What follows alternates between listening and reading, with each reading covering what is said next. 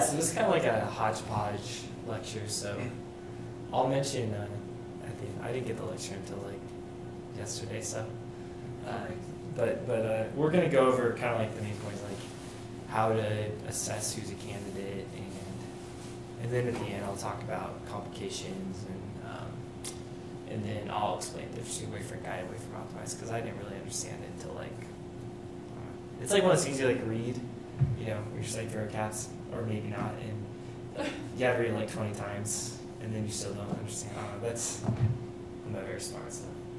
All right, so uh, I think the big thing, you know, number one, like you need to pick the right patient. So some people have unrealistic expectations, which you know, this is a cosmetic surgery essentially, and and I mean it's it's functional, but if you've ever experienced like in your plastics clinic people who had who are kind of that cash pay cosmetic group, like there's a higher expectation than if it's functional in general, and so you have to kind of really explain things to people because you don't want an unhappy patient. um, so, you know, I think obviously informed consent is super important, and you really want to, you know, avoid promises. Like, that's like something really practical for all you since you're probably not going to do much refractive surgery in residency is kind of learning how to temper expectations for cataract surgery because you're all going to do a lot of cataract surgery.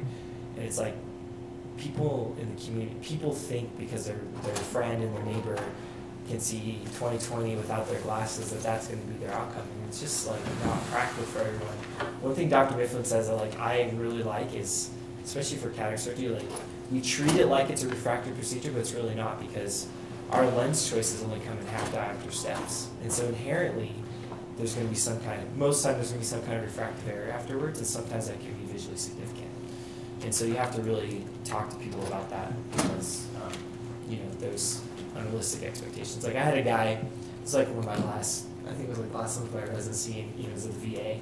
He had had a ruptured globe like 25 years before, and had a central corneal laceration, and had an iris defect and a big nasty cataract. Um, and I was like, he had like 10 diopters of irregular corneal astigmatism. I was like, and he came, and he's like, yeah, doctor, this outside doctor said I could go to the VA and get this lens that corrects for astigmatism for free. And I was like, let's let's set your expectations right. Like we're gonna take out your cataract and probably help you see better, but your vision is not gonna be perfect because like we can't correct this linear, really weird astigmatism right in the center of your cornea. And so, you know, I talked to him, I, I think I talked to him for like half an hour every time he came in. Surgery went fine, and then afterwards he would, he was still like, I don't get it, I can't see very well. These two other doctors said I could have this toric lens. I was like, dude, you need to realize like this is all we've been talking about. You need you're gonna wear hard contact or glasses or something, probably hard contact to see well.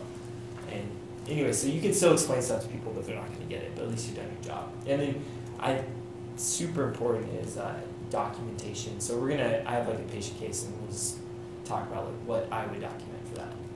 So um, like I said, like you know, do patients have what's like the motivation for getting refractive surgery? A lot of times people come in because they're contact lens intolerant and they hate wearing their glasses and they're pretty nearsighted and they just want to be glasses free. And a lot of times that's fine and people do really well, but you know, what if they're like 45 and they're minus 250 in both eyes are minus 150 and you know they they want to have really good distance and near vision because they they probably wear contacts or something and they're kind of getting that presbyopic age. Um, you have to really talk about that because they're going to have to make some choices. And we do see patients where we do refractive surgery on them and they're in their mid 40s, and a lot of times we try to convince them to try monovision out so that they can have the best of both worlds, or they just have to realize you're going to have to sacrifice, you know, one or the other. So, um, what's their social history? You know, um, what do they do for their profession? So we have, you know, we're the providers for the Olympic ski team now. I don't know if you guys knew that, but we had uh, someone who was going to go to the Olympics probably come in, and you know he wanted to have. I should say this person. Uh, stop the record button. Um, you know they wanted refractive surgery because like maybe get a competitive advantage. Wear contacts because they're going super fast and dries out and hates glasses. And so because there's potential to like you know crash going like 70 miles an hour. Like, hey, maybe you should get PRK over LASIK. But like training, he, this person was like training in Chile, like right now, like started in July and it's gonna be there for the next six months. And so you know, were LASIK's probably fine. So he got LASIK because he could come for a day and a half and then he had to go back. But you know, are you a boxer? Like, is that gonna happen? maybe not the best to get LASIK because those flaps never truly heal all the way. And we'll talk about that later, but we had a rock climber come in. He wasn't like professional, but kind of like a really serious amateur, and he does big traditional climbing, and he says he gets like grit and dirt in his eyes all the time, and so he chose PRK because he's like, I don't want to, I want to be on the a face and you know have a problem and can't see. Um, contact lens use. I think this is probably like, you know, if you do off the questions, uh, you probably notice like there's this there's just a ridiculous amount of refractive surgery questions, and you're probably not going to be tested on most of them.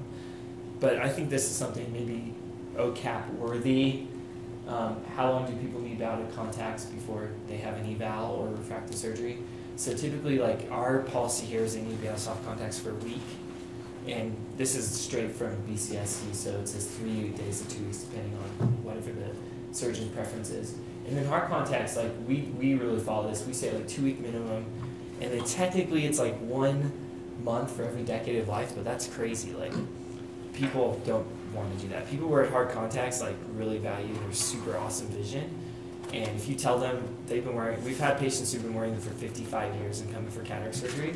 Like we tell them that, and they're like, there's no way I can do that. So what, what we do is like say, when you stay at your contacts for two weeks, and then we have them come back like every couple weeks and just see when it's the cornea is like really stabilizes because over time it'll stabilize and yeah, you might there might be a difference at one month and five months if they're wearing their RGPs for 55 years, but it's not going to be that big of a difference. And then you just have to temper expectations, saying your cornea will change shape after cataract surgery, or you know refractive surgery, but most people who are wearing RGPs haven't worn their and want to get refractive surgery haven't been wearing them for 55 years. So, and just kind of as an example, so this was a patient who was actually going to have cataract surgery, and so they wore RGPs for like 30 years. So you can see, you know, you kind of have, and they have keratoconus, so I'm giving that away. But you know, you can see kind of like this inferior steepening, but it's not really like a typical keratoconus type picture. So this is, and then this next one is like when this person was out of their RGPs for a month. So you can see like it really changed shape quite a bit. So it's just kind of, for me, hits point home that, you know, these people, you, the people have to be patient. They can't expect results right away, and they're just got to be waiting for a procedure. And I think we did cataract surgery this person, they ended up doing really well. So, um, other considerations for refractive surgery, like preoperatively, is dry eye. So Dr. Mifflin likes to say we live in the second dry state, and there's a lot of pollution around here, a lot of agriculture and factories, and so there's a lot of dry eye, and it's kind of windy. And so people who have dry eye before, especially in LASIK, are probably going to have dry eye after LASIK, and maybe a lot worse. And basically, it's because you're just cutting all the corneal nerves when you hit the flap, and um, you know you get kind of this rejection. It's just like a neuro, it's basically a neurotrophic eye, but usually not permanent. And so they get all these things here. Um, injury to limbal goblet cells may be from like the suction that's applied for the femto laser when they make the flap, or back in the day when it was a microkeratome. Um, but you can see this eye is like super dry, and we've had patients who like come in, they have like mild dry eye, and we're like, you know, you should probably get PRK, and then they want LASIK, and then they like four plus epithelial erosions and like their vision's blurry. So most of the time though, I think it's on the next, um, and, and, this is something was cut off by my sweet picture, but um, you know, dry eye sufferers don't want to contacts either. And so like a lot of times people come in with dry eye because they want to be out of contacts and they hate their glasses. So, um, so you just have to talk a lot about dry eye. Like I had an evaluation. I've, I think I'm doing her case on Friday, and she's got like a little asymmetric dry eye, like maybe trace PK in one eye. And I told her like, you know, you could do LASIK, but you're probably gonna dry after. And because of like work considerations stuff, fast recovery, she wanted to do LASIK over I'll just remind her um, afterwards. But I think this is like an important point. Like uncorrected visual acuity at one year is no different if people are dry eye or not. And that's something I've noticed just being here for a couple months is that people can have crazy, ridiculous dry eye after LASIK, but they still see really well. And that's part of the problem because they have neurotrophic cornea, they see really well, and they don't realize that their eyes like really dry, so they don't have a lot of motivation to use tears. So, but in general, for LASIK, we have people on like preservative-free tears like four times a day for six months, at, usually. Um, uh, PRK induces less dry eye because you're not uh, denervating the cornea. And then, you know, there are ways to treat it, like we'll do plugs, tears uh, frequently for people, sometimes like vitamin C, doxycycline, things like that. Um, and then, like, you know, there's some, there's been a lot of research and a lot of papers supporting that PRK is better than LASIK for dry eye. And, and like I mentioned this, there, there's some theories behind why femto is better. Maybe the thinner flap causes less um, nerve disruption, and then the suction's a lot lower with the femto um, than the microkeratome, so maybe you have less damage on the cells.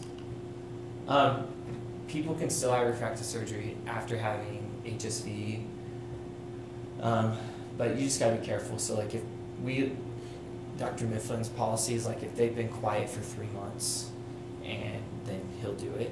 And you know, you, you got to make sure they don't have a big scar or anything, like, things like that. But sometimes we'll increase the dose of their antiviral therapy during the early postoperative period. But um, and you know, no one really knows what causes HSV to flare, but maybe these two things after, who knows.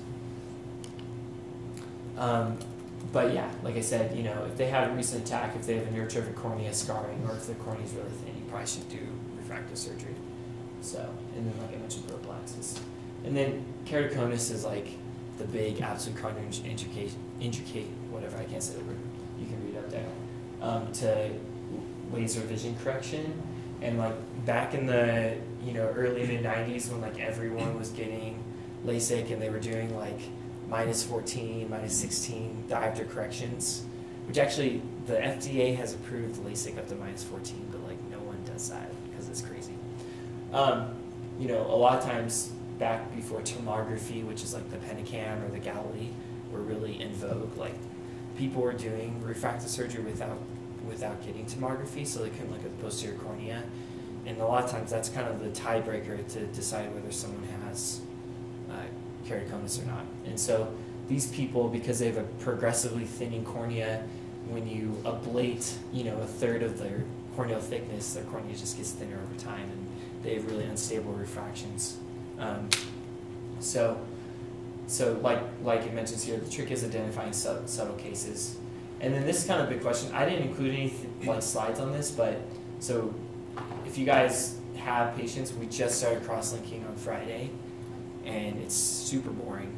Like you, they the patient you debride their epithelium, and then they sit there for 30 minutes while you drop uh, this riboflavin drop on their eye every two minutes for 30 minutes, and then you make sure the cornea is thick enough, and then they stare at UV light for 30 minutes, and you keep dropping drops on their eye for every two minutes. So it's boring, but in Europe and someplace in the U.S. that have been doing crossing for a while, people who have like mild keratoconus and their corneas are nice and thick, and they've been cross-linked, they will do PRK, or some people do LASIK if they're a good candidate. And there's some newer technologies. You probably there's this new thing, newish, called topography guided um, refractive surgery or LASIK.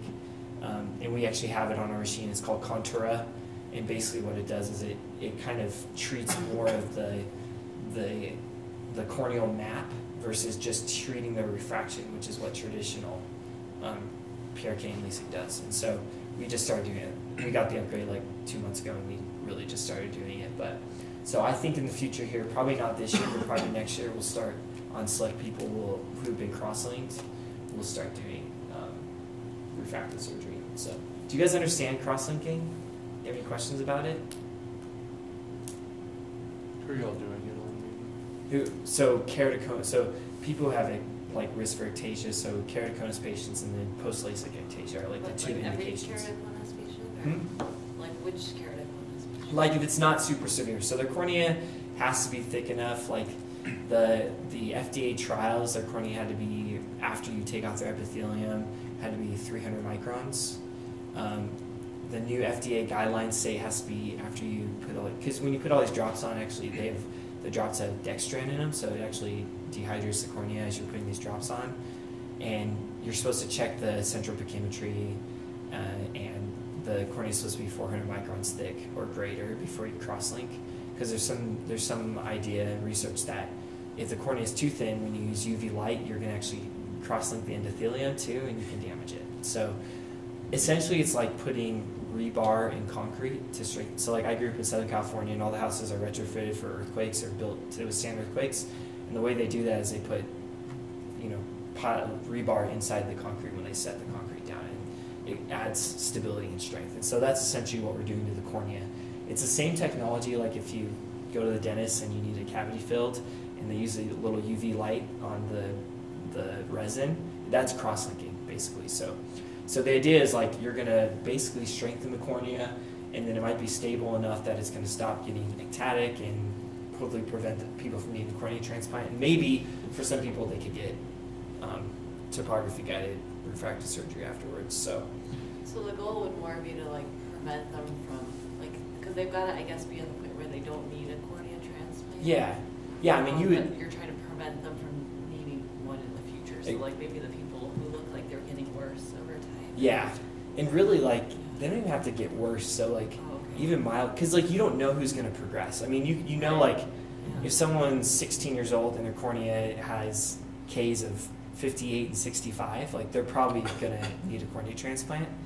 But you know, we just saw a teenager yesterday, and his cornea was 650 microns thick, and he had inferior steepening, and he had kind of this keratoconus type picture. And we're still going to do crossing on him because he's 16, and keratoconus patients tend to get thinner as they get in their mid 20s. So late teens to early mid 20s is where they really progress. So we're going to offer it to everyone who kind of fits that picture for now. So is insurance covering it? Um, only a couple insurance providers here, so like Blue Cross Blue Shield, I think Aetna is, but Select Health is not, which a lot of people also through insurance through IHC.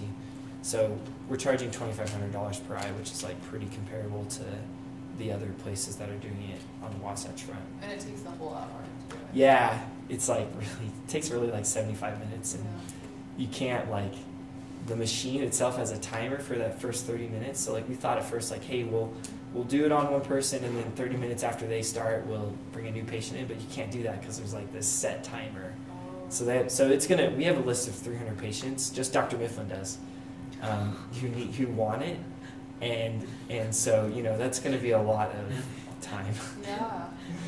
I yeah think you should invent uh, an eye drop Yeah. dropper that drops automatically every i know two minutes before that Yeah. happens. i did do you have a question You just Yeah, so when you do cross-linking on these patients, do they ever have to then need hard contact lenses afterwards? Yeah, so I mean, it's not. It's basically like hopefully prevent them becoming from their corneas becoming thinner. Most people, their corneas get a little bit flatter, but it's not like this miracle where their K's drop ten diopters. You know, it's it's probably it's pretty mild. It's usually like four to five diopters at the most. So you know, it's it's definitely not like a a procedure where it's not a miracle procedure, but it's the best thing we have. And so you, I've, I've been telling everyone you're probably gonna still be wearing the same contact you're wearing now, maybe a little bit different power. But you know, if they're in soft contacts, they'll probably stay in soft contacts.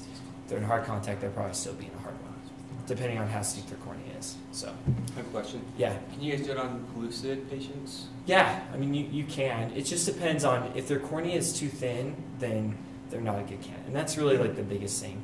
And obviously, like you know, do you need to do cross-linking on a 70-year-old who has keratoconus? Probably not. Like their cornea is probably as thin as it's ever going to get. So, and we usually see a lot of patients for cataract surgery, like that first patient, who, or some people have keratoconus and it's not visually significant, and they come in for cataract surgery, and they just have you know a lot of astigmatism. A lot of the keratoconus patients, they actually look over the cone, and you know, so their cornea is actually flatter in the center, and so this a lot of times doesn't bother them.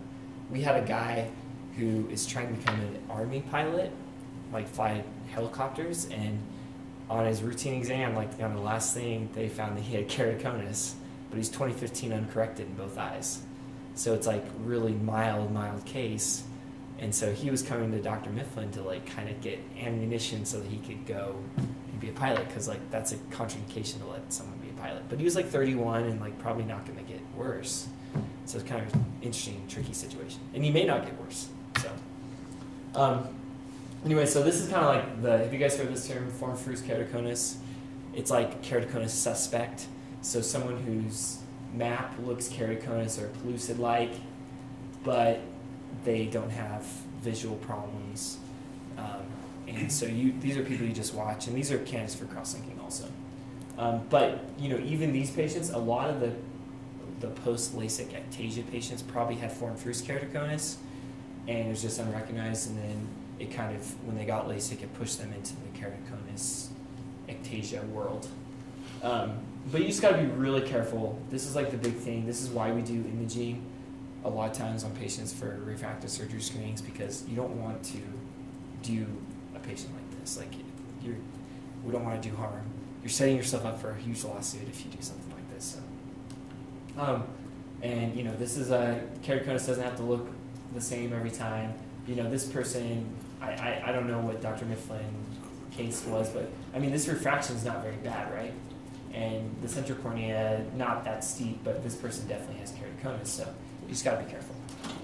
Um, yeah, so, and the big thing is in case, because I didn't know very much until I actually started here about this, but you want to look at the posterior cornea, so the posterior elevation. So if you get the, on the Pentacam, you can do, do you guys have Pentacam at the VA? Just send me here. Okay. Um, anyways, you look at the elevation on the backside, and if you see, I'll show you a case later that doesn't have keratoconus, but these numbers are all out of whack. Like from the central cornea, all these numbers should be like within 10 to 15, so whether it's plus or minus. But if you have this big plus, like 30 like that, that means that the cornea is bowing out, the posterior cornea is coming anteriorly. And that's, this is absolutely keratoconus, so you wouldn't want to do refractive surgery on this patient. And then just just to show you what it look like, this is a patient we actually had to do. She had cross-linking, then we had to do a cornea transplant on her, and um, just like three weeks ago. But you can see like this had post like she had LASIK 15 years ago. Cornea is like crazy steep, looks like keratoconus, super bowed out. I can't even see what that number is, but it's like uh, plus 82. So you know that cornea is gonna have a hard time seeing if, if you put them in an RGP. So. Um, you can do refractive surgery on cornea transplants. You just have to be pick select people well.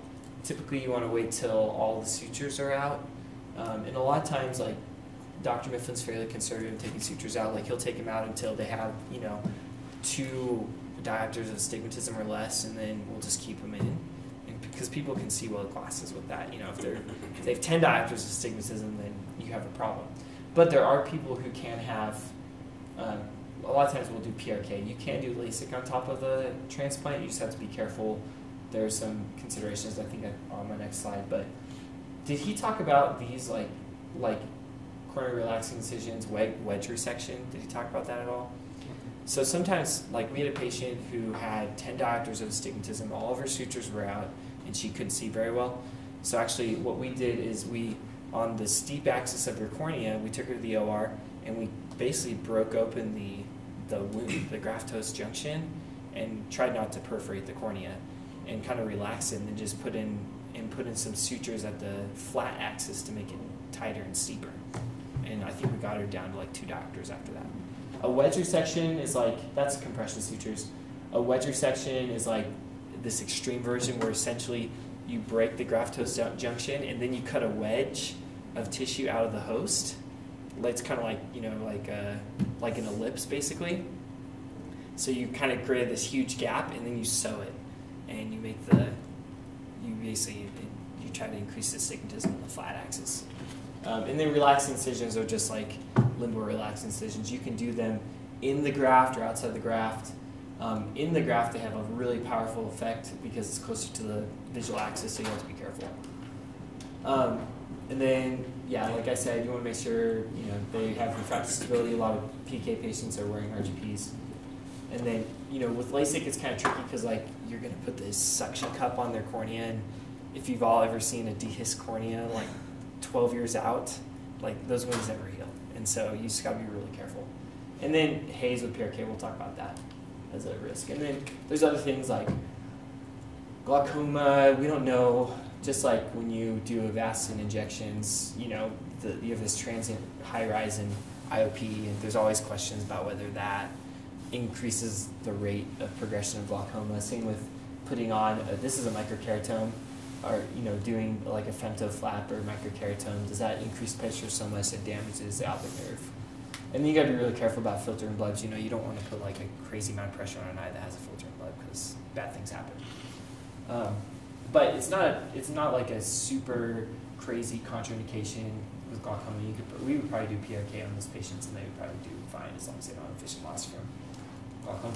Can I ask a question about the previous slide? There was a Uh-huh. thing about like irregular astigmatism. Can you do PRKs on Yeah. irregular astigmatism? Yeah, that's a nice thing with like the new like wavefront guided, wavefront optimized, Contoura, the topo guided. It's like you can correct irregular astig- astigmatism. But you could do like one of those fancier methods. Yeah, like traditional LASIK, which they were doing like ten years ago, not as much. So, um, but no one does that really anymore. Everything's like wavefront or Contoura, the topo guided. Um, and then you, know you have to consider like steroids because after PRK especially, people are gonna be on steroids for like three months, and is that gonna make glaucoma worse? Um, you know, you just gotta be really careful and document everything. Make sure their fields are full retinal disease obviously so so a lot of patients have high myopia who get refractive surgery and they're just at an increased risk for an RD. LASIK and PRK don't increase the risk probably, but they those people are already at high risk, so you just have to be careful and tell them, you know, you need to look out for flashes and floaters. Um, although this is kind of the thing like I'm sure you've seen an RD after clear lens extraction from either here or from somewhere in the community. We do them, but we usually try to wait until people are um, older. But you know, there is a high rate. It's just like for cataract surgery, like high myopes who have cataract surgery are high risk for an RD. So you have to explain that to people. A lot of times, people get clear lens extraction are in their mid 40s, 50s, and they're super myopic or and like minus 17, minus 18, they're just not a candidate for anything else. Like they have a little bit of cataract, so you can't do a ICL. Um, and so you just have to explain that because obviously they're paying a lot of money for cataract surgery that, you know, for kind of a, a lifestyle cosmetic result, and you don't want them to be really mad at you. And then there's always like, do buckles affect how well that the uh, the femto second laser can maintain suction on the cornea?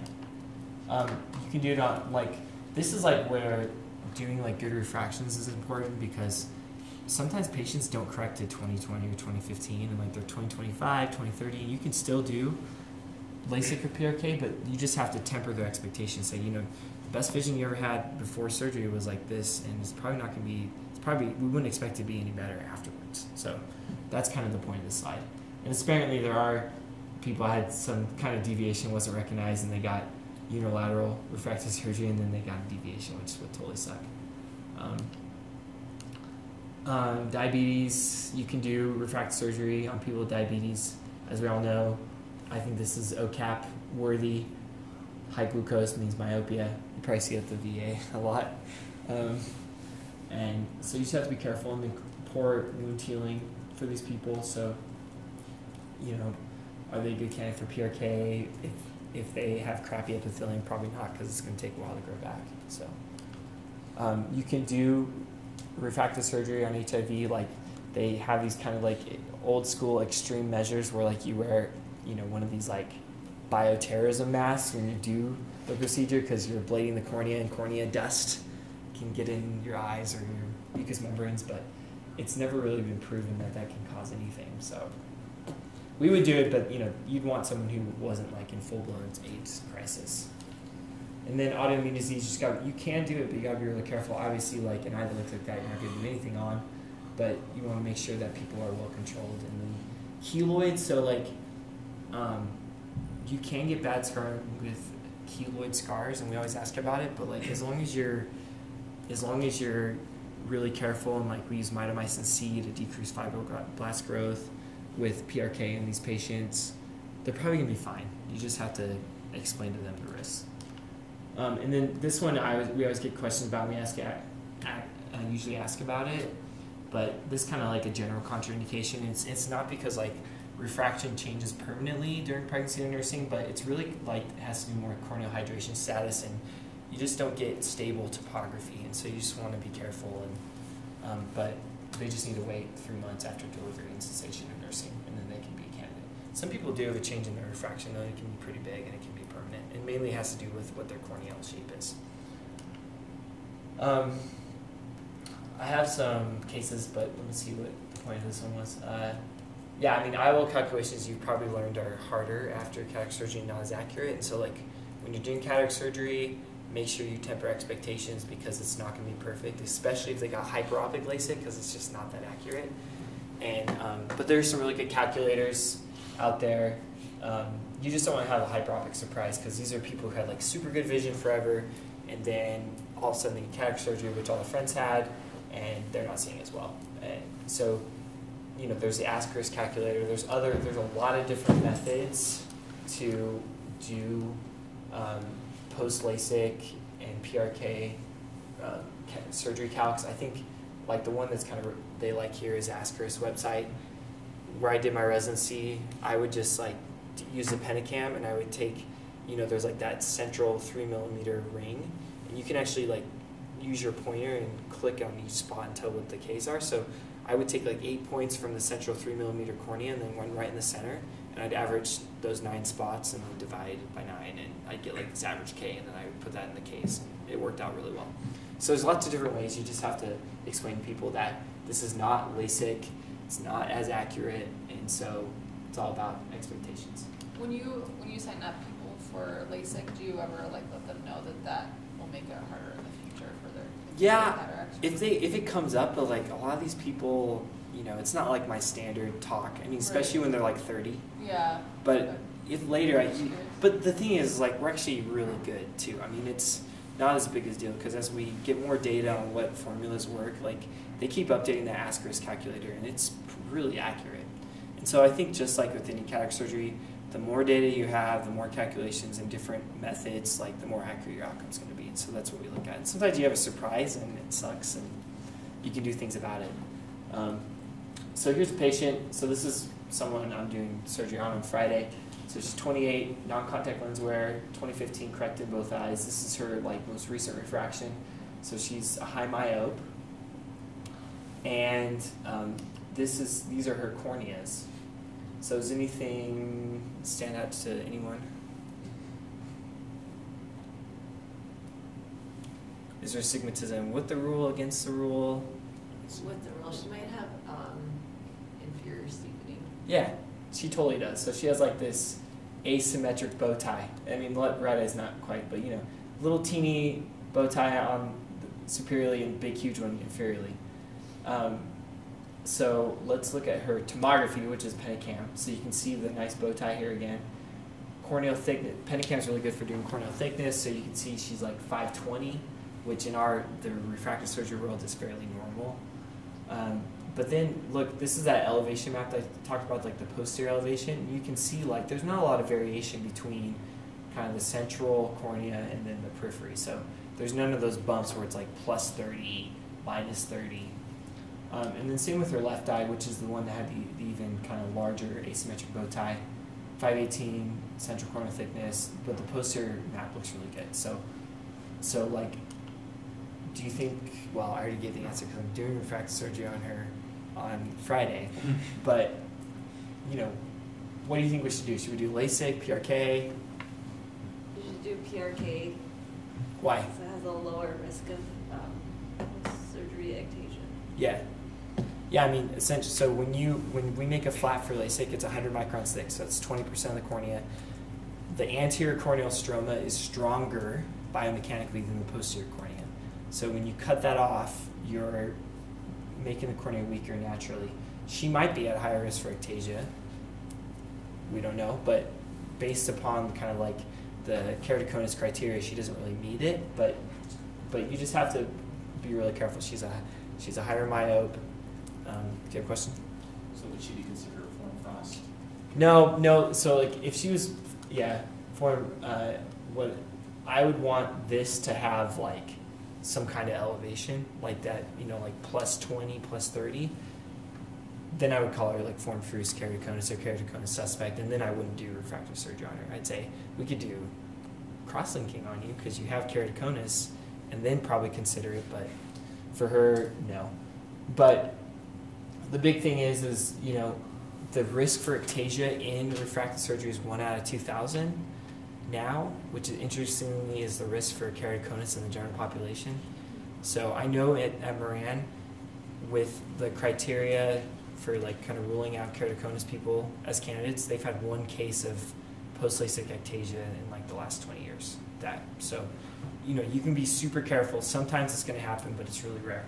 Um, so I told this patient, I explained the risk for ectasia. I said I wouldn't do LASIK on you. We would do PRK, and just explain the recovery's a little bit longer, but it'd be worth it, safe, and you're probably going to do really well. But you just have to know that there's this one in 2,000 risk that you could get thinning over time and need a cornea transplant. And when you tell them like it's one out of 2,000, like people are usually okay with it. It seems acceptable enough. Um, LASIK complications, I mentioned dry eye, ectasia, I showed that. Flap issues, I talked about this in the grand rounds, but you know, you're creating a new space so you can get infections, you can get melts, um, usually from infection or from epithelial ingrowth, where epithelial cells kind of go in the flap. Most of the time it's not visually significant. With femto laser, the, the risk for um, epithelial growth is lower. Um, but if it gets in the central cornea, you have to lift the flap, you have to scrape it off, you have to use like mitomycin C to stop fibroblast growth. And then dehiscence. So I, like I never forgot this. So when I was a med student, I rotated here with Dr. Mifflin, and he told me like we were like doing LASIK, LASIK one day, and he's like, it's like ten years ago, I had a resident call me crying because a patient who just had LASIK like the day before got a car accident and came in with like bilateral giant abrasions. And basically, the LASIK flaps had dehisced, and the, the resident peeled them off, peeled off the flaps and obviously like i think the patient ended doing okay but like you screw up their cornea when you do that. So i never forgot that. And so when i was a second year resident um, i had there's a cop and he got hit by a bungee cord in the eye. And like he had a lasik flap because his lasik was 12 years before. And so i like irrigated it really well and i put it back down. And i think they had to be like they had to decapitate it eventually because like it got bunch of epithelial growth. But i never forgot that so you can get that years and years down the road. So just if you see like these, you know, flat things superiorly, it's probably at least ask about their surgery history. And um, anyways. Does, so does everyone does everyone still do the um, where that's connected superiorly? Isn't there like was there some people that were moving towards doing it like temporally or? There are some people who do that, but it's more common to put the hinge superiorly. So um, I think there was someone here who did them temporarily, but the vast majority of people do superiorly. So, um, yeah. I wasn't sure if that was changing. Yeah, no, it's. I think it's fine both ways, um, but the newest like the new like sexy thing is like the make the flap thinner.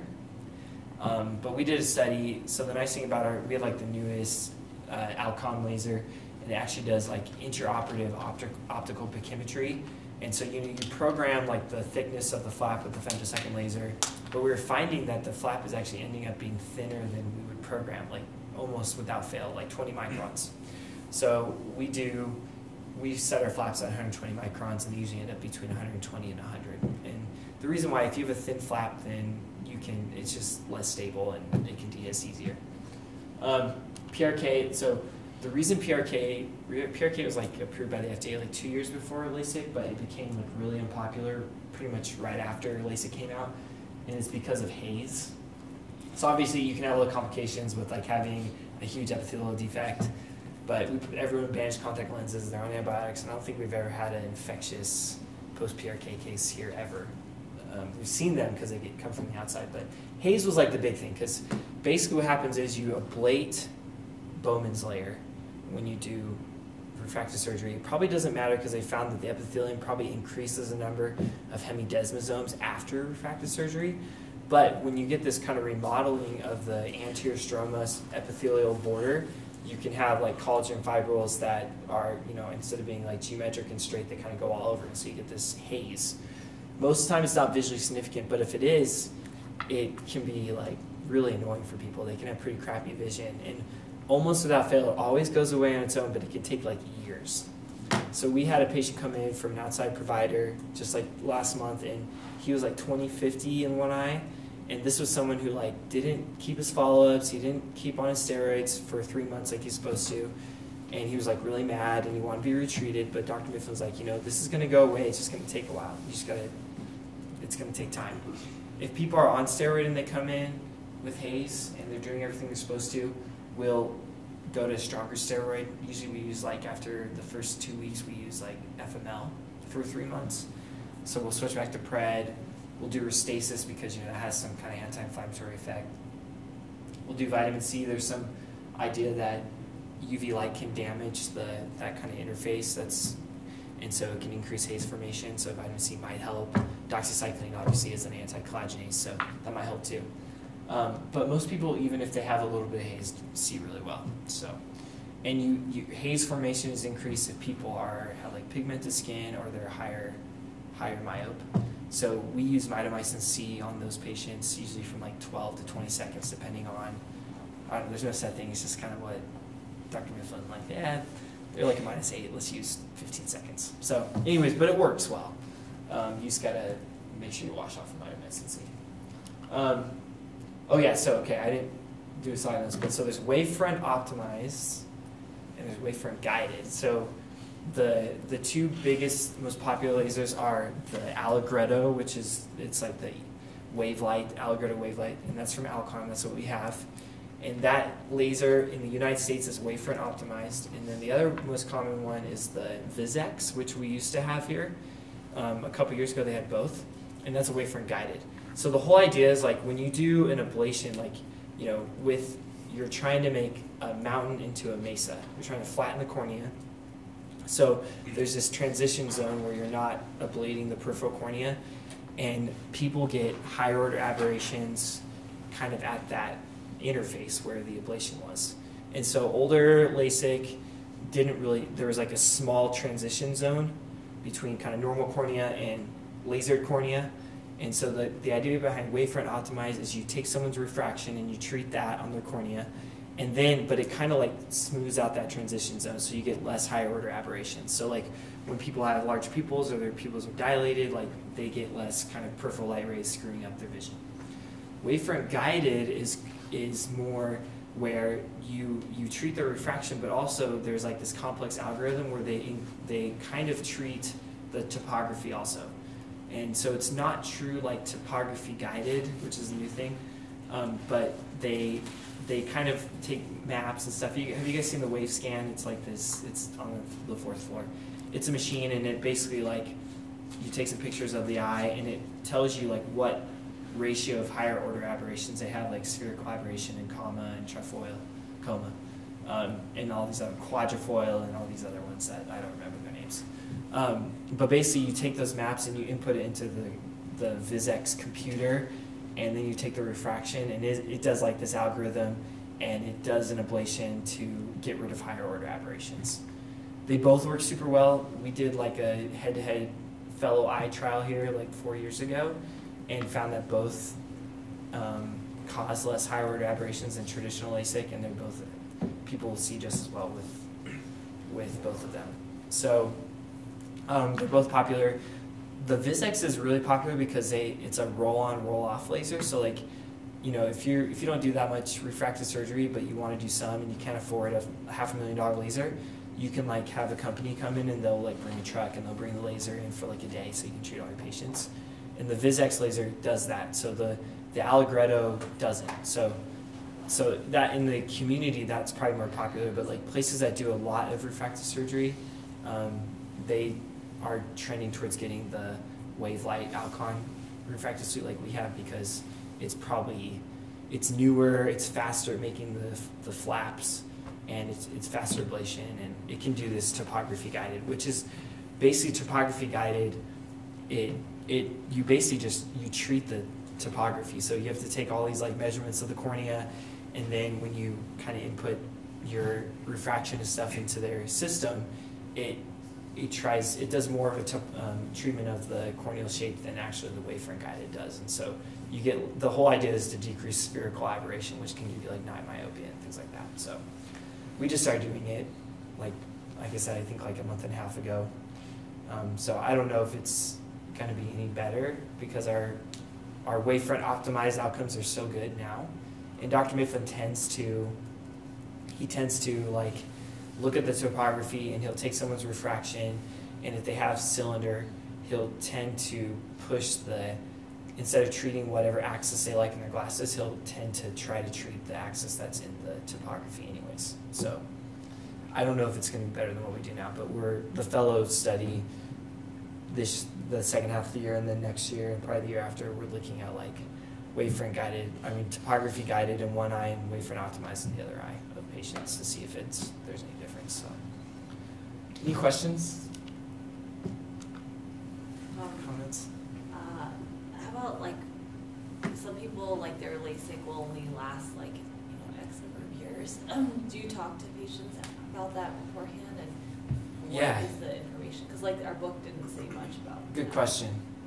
So the rates are are so so kind of they they call it. It sounds really fancy. Remember Dr. Smith talked about Dr. Casebeer? That was like his the guy. He invented this term called you you needed an enhancement. So it's not a touch up. It's not you know it's an enhancement. So it sounds really fancy. But basically, yeah. In at our patients, five percent of patients get a little nearsighted over time, and it typically happens in between like eight to ten years. And so, so if they need to be retreated and they have like enough residual stromal bed left, then it's totally reasonable to retreat them. And so, um, we here we like part of. I talk to everyone about that. I say, you know, there's like this five percent chance. Some people are at higher risk for that. So like young people, like if they're 21, female, high high myopic corrections are at a higher higher chance for needing an enhancement down the road. So um, we I tell everyone about it and I say, you know, if you need it, it's like four hundred dollars and basically it's just the cost of the click fee for using the laser. Here, some places have like a lifetime guarantee, which is kind of like it's really ingenious and tricky because like basically they say, we'll treat you for free down the road if you ever need it, but you have to come into our office every year for a full eye exam. And so by the time they need one, they're going to spend more money on copays and whatever. So we just like 400 bucks, you know, if you ever need it. And and and I think that you know our rates are fairly low. I've seen Dr. Mifflin retreat a couple people, but a lot of times like they're like minus one, minus 150, and usually they're like already in their mid 40s and like they kind of have this nice like monovision, and so most people are like, yeah, it's it's fine. So it's four, uh, four hundred dollars is the click fee.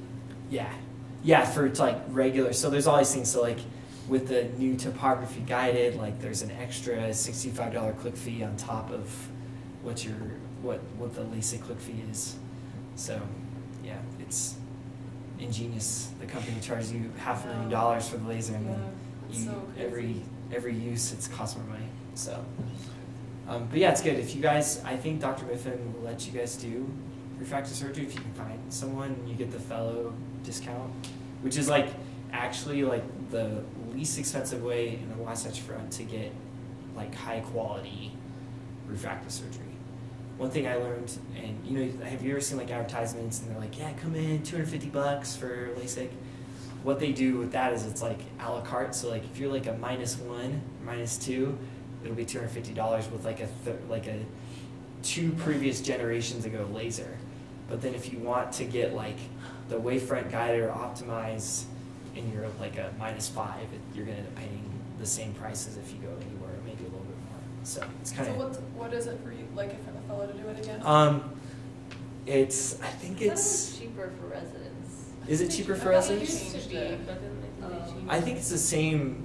Oh, if you you mean cheaper for residents if you get it done? No. Oh. No, No. cheaper. It used to be like resident a graded scale, Oh, okay. but I think it's. I think they just switched it all. So they just raised the price, so it's fourteen hundred dollars per eye, and then I think there might be a little bit of a discount if you're like a U employee, Right. maybe. Um, so yeah, but that's like pretty. I mean, they charge. I think it's like about two thousand an eye for like if the attendees do okay. it. The cheapest other like to get what we offer anywhere else like the cheapest price I found is um, eighteen hundred bucks per eye. So it's it's like a really good deal. And I'm amazed that people want to get it. Fellow, no people in general like they, they want to pay four thousand dollars. It's like glasses. Yeah, I don't know. You just love your glasses so much. Yeah, you guys. You know, so so if you think about it, actually the, the lifetime risk of having a ocular complication wearing contacts is higher than getting refractive surgery. If you're a good candidate. So for some people that's enough, you know. And I mean I don't wear glasses. I was blessed with like perfect eyeballs. It seems super annoying. My wife wears contacts and like it just sucks. Like you know, if you forget them or falls on the ground, like that's annoying. You know, I don't know. Anyways, it's I've safe. Been, I've been camping before where they froze. Uh, Yeah, that's crazy. So refractive surgery is good. You just have to have the good, a right candidate, and you know, doing the procedure is not hard. Once you learn cataract surgery, that's way harder to do. But it's like the brain sweat that goes into deciding who's a candidate is the hard part. So, um, but yeah, if you guys ever have anyone who's interested, just have them. You know, they can come in to see you for like a screening, and you can call us, and we can tell you what you need to do and stuff. And um, I think it, you know, kind of sells itself if someone's interested. So, and that's it. There's some Um, other stuff. Wait, sorry, I just have one more Oh, yeah. question. I don't know if Dr. Mifflin went over this last time, so maybe you guys who were there could say, um, like, you know, one thing I think that might come up on OKAPs is like steeper corneas and like the flap complications. Obviously, it's not Oh, yeah. relevant now since they're all that. femtosecond flaps, but why do steeper corneas, um, more, like, are more likely to buttonhole and why flatter corneas are more likely to have like a transection with a flap is totally loose? I should have read about that. I always forget that one. Yeah. Um, I think it has to do with. Um, actually, I, I'm not even gonna say because I don't want to sound like I don't want to give you a black pearl. Wrong wisdom. Did, but did Dr. Mifflin mention that last He didn't time? talk about Yeah. it. It, it does have to do with like the, how the the the, the suction occurs and like what it does because I know like with um, like when you you actually use the same pretty much the same keratome when you cut up um, the a DSAEK and you know cutting off and you can get different size buttons depending how much suction is applied. Um, so yeah, I wish I, I should have read about that one. Say it again. Clock complication. Complication? So like flatter corneas are more likely to um, have the, the flap get cut off totally, so it doesn't have a hinge. Oh. And then like steeper corners are more likely to buttonhole, I guess, there's like a hole inside the flap. That Yeah. makes sense though, right? Because it's just, because it's so steep, it just. Yeah. Button, like you just cut right through the whole cornea. No, that's, No, that's the that's, opposite. yeah, it oh. doesn't make That's the sense, complication so I just had to memorize it. associated with the flap. That's how it's for me. Yeah, I just had to memorize The it. Yeah. is like, I Made think no there's a hole inside the flap. Yeah, Oh, That's- that's what it is. So We've actually seen opposite that. makes sense. Right, yes, correct. We've seen on patients who've had their flap set too thin, and they come in and they've they've had a buttonhole. It's less common with the femto than when you're doing like manually with the blade, but it still can happen, and it's kind of annoying. So this patient we ended up doing PRK on. So let let the patient heal for like a year, and then did PRK on them. So. Anyways, I hope that was helpful. I mean, you know, there's not a lot. I don't think it's. I don't think refractive surgery is very high yield for OKAPs, to be honest. Like la- last year, I don't. I remember like maybe like one or two questions, but definitely off the questions has way too many refractive surgery questions that are like, you know, really minutia type garbage that you just don't need. I think that there were, some- aren't there some calculating the residual stromal bed? Yeah, uh, Munnerlyn's formula. common, Yeah. I basically remember essentially like for every for every diopter of myopia, you're you're ablating 14 to 15 microns. In, in general, I mean, when you add astigmatism, it gets more complex, but that's basically kind of how I like. So that's how I figure out what my refraction stuff. Yeah.